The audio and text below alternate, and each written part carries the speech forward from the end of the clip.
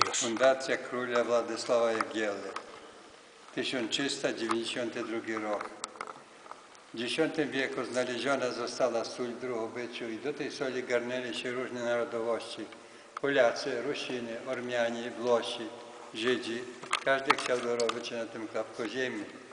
Jak było sporo już Polaków tutaj, a te ziemie należeli do Królestwa Polskiego, często odwiedza król Władysław Jagiełło miejscowości te i polski naród zwraca się, żeby pobudować kościół albo kaplicę. Na tym miejscu stała pogańska świątynia. Ona była już zawalona, drewniana była. I tutaj przeznaczono na tym pagórku budowę naszego kościoła. Bo od tego pagórka, czyli od tego kościoła do warzelni soli jest mniej więcej około 400 metrów. Żeby było ludziom do pracy blisko, wygodne wszystko i temu tutaj pobudowano.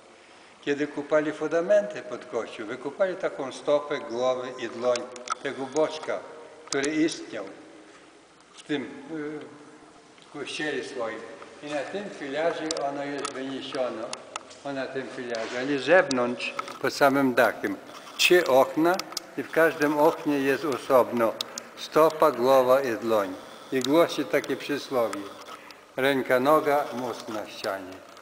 Jest to z naszego kościoła to przysłowie. Ale znaczenie miało drugie, bo w te czasy często napadali Mongole, Turki, Tatarzy. I oni bożyli kościoły, a widząc swego bożka, oni nie ruszali kościoła. I tak bardzo dużo kościołów przyistniało po dzisiejszy dzień. Kościół był młody i już pierwszy napad był w 1490 roku, już Turki napadli. No ale jeszcze tutaj nic nie skorzystali, bo był ołtarz maluśki. Chodźmy tutaj. Był maleńki ołtarz i maleńkie organki powiązane i malowidła XIV wieku, o co jest właśnie tam odkryty, o ten kawałeczek w kącie. To jest XIV wiek, bo to już jest na suficie. I te wszystkie malowidła były już przerobione w XVIII wieku, bo było zniszczone w 1648 roku. Więcej tu jeszcze nic nie było. Aż dopiero, kiedy napadli Tatarzy, Kozacy, wszystki naród wyrżnęli tutaj, jaki był w kościele. I pogrzebano ich tutaj. No i kiedy właśnie ich pogrzebano tam, przychodzi nowy e, an- e, proboszcz Antoni Kociński i robi rekonstrukcję tego kościoła. Znaczy tutaj buduje kaplicę, żeby się nie deptać po tych ludziach, którzy są tam pogrzebani, a tu robi wchód główny. Nad wchodem buduje piękną galerię, na której stawi ćwierciowe organy. Te organy, które w 50 roku pierwszy sekretarz miasta Drohobycza sprzedał Gruzinom za 300 rubli. Za, za 300 rubli, gdzie dzisiaj da, trzeba dać co najmniej 20 mi- milionów hrywień, bo co to hryvnia? Ta hryvnia jest słaba. To nie jest nie dolar, nie, nie euro. Także nam niemożliwe jest tego. A gdzie te Rozmawia- organy, gdzie te organy teraz są? W Gruzji gdzieś, a kto jego wie, to Gruzyny kupili. Oni odpoczywali, byli no, nie w czasach truskawców, bo w te czasy przyjeżdżała чуть nie cała Europa, tutaj wszyscy i Jugosławy, wszyscy i Polacy. I zaraz Polacy przyjeżdżają, odpoczywają tam. Także oni zawąchali te, wą- te właśnie organy i, za, i za, Na zapasowych dnia- drzwiach jest piękny ornament. Z lewej strony jest godło, polski orzeł. Z drugiego boku jest, znaczy z prawej strony jest dziewięć stopek soli. To jest godło naszego miasta. Znaczy, czemu dziewięć beczek soli? Bo w te czasy jeszcze XIV-XV wiek, kiedy sól sprzedawano za granicę, wożono furą. Nie było jeszcze ni samochodu, ni niczego, byli, to nie furą wozili. A na furę mieściło się dziewięć beczek soli tej. I od tego poszło, znaczy, Mnie, e, znaczy godło poszło od tych dziewięć beczek soli, a e, przyswoił im, kiedy mm, Kazimierz Wielki nadał mandeburskie prawo Drohobyciu i przys, przyswoił właśnie tych, ten herb dziewięć beczek soli. I w górze napisał po gotyckie, wchodzącym w tą świątynię Boże błogosław. Rozmalował ponownie kościół Andrzej Solecki swoimi uczniami. Święci, prezbyterium, dali podwyższenie Świętego Krzyża i nawa główna, ostateczny sąd. Są to rzeczy bardzo rzadkie, które nigdzie się nie powtarzają u nas tutaj, gdzie jest ponad 160 kościołów w lwowskim województwie. Napisał historię od, na tych deskach, cztery deski, dwie z lewa były, dwie z prawej. Z prawej strony ucalały, a z lewej już rzucili, chcieli już tutaj spalić, bo to był skład papieru. Ale zdążyliśmy jeszcze odebrać. Znaczy to opisują historię naszego kościoła od początku do XVIII wieku. Postawiony tu nadgrobek Katarzyny Remontowej. Jest to właśnie ta żona tego żupnika, który właśnie żył. Tą żupą władał. Ona pomagała biednym ludziom. Zmarła młodziutką kobietą. On strasznie kochał za nią panował i poprosił księży, tak jak on włożył wielkie pieniądze na rekonstrukcję tego kościoła, żeby zostawić pamiątkę.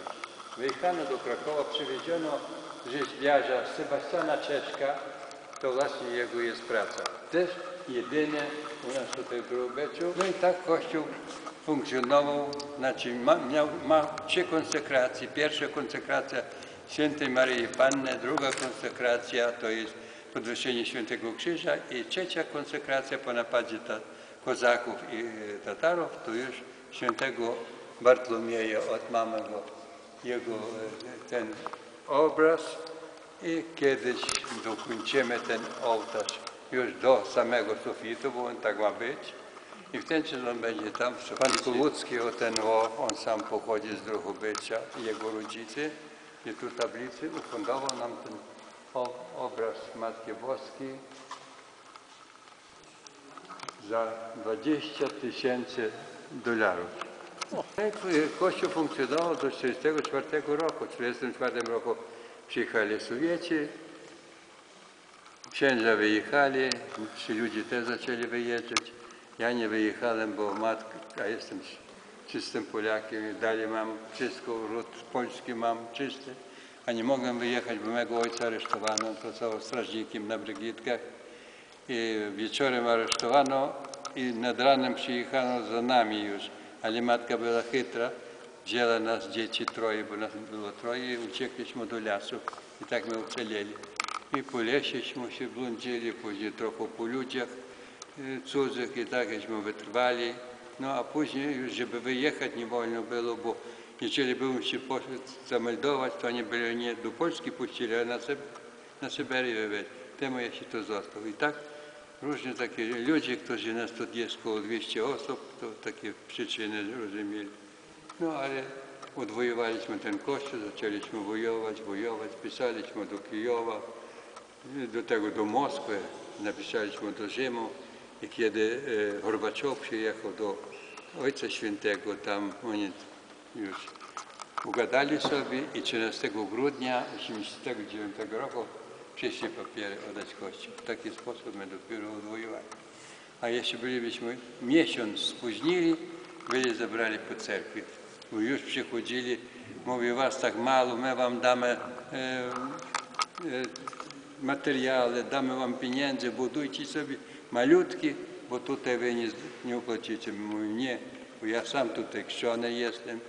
Ja chodził do kościoła z rodzicami i te ludzie, którzy my się dobijali, to wszyscy nam na tym zależało.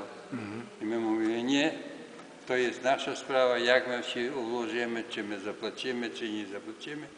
Jak nie zapłacimy, to odbierzecie. I już i tak od nas odstali.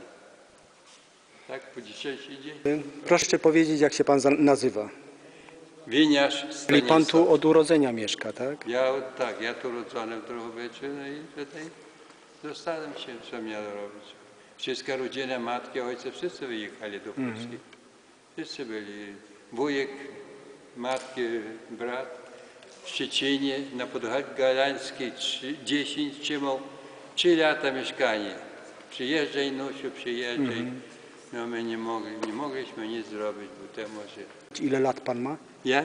84. Wow. 31, 18 stycznia. A proszę powiedzieć, cmentarz polski tutaj w Drochobyczu, zachowały się polskie groby i Mamy swój cmentarz, teraz odnowiono.